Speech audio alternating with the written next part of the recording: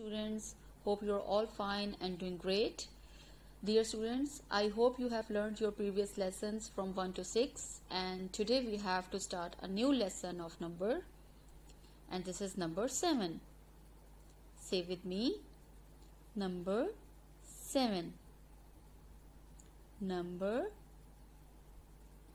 7 look carefully its shape that you can write it easily number 7 number 7 there is another picture. Say with me.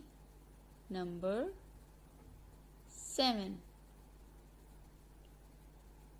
number 7 and there are some leaves over there. So let's start counting. One, two, three, four, five, six, and 7. There are 7 leaves. Say with me, this is number 7. Number 7. And there are some cats. Let's start counting. 1, 2, 3, 4, 5, 6 and 7. There are 7 cats. There is another picture. Say with me number 7. Number 7. And there are some cups. So can you count with me? 1, 2, 3, 4, 5, 6 and 7. There are 7 cups. So students, you have to write number 7 on your workbook and also recognize it. Now we will start revise our previous lessons. This is number 1. Say with me number 1. 1 strawberry 1 strawberry. This is number 2 number 2 2 muffins. 1 and 2 2 muffins. This is number 3 3 cherries.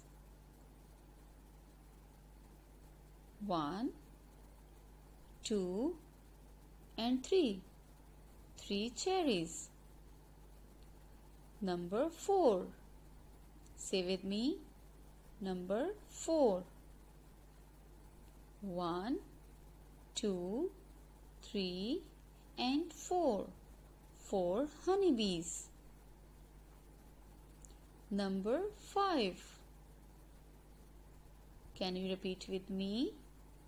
Number 5 1 2 3 4 and 5 there are 5 flowers.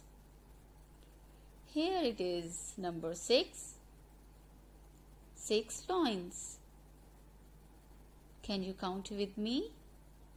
6 and 6 loins 1 2 3 4 5 and 6 6 loins.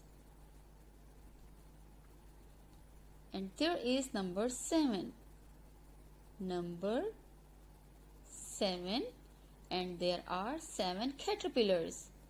Number 7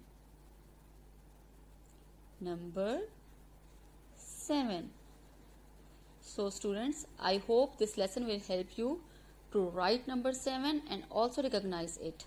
And you will count different objects in your daily life. Thank you and allah hafiz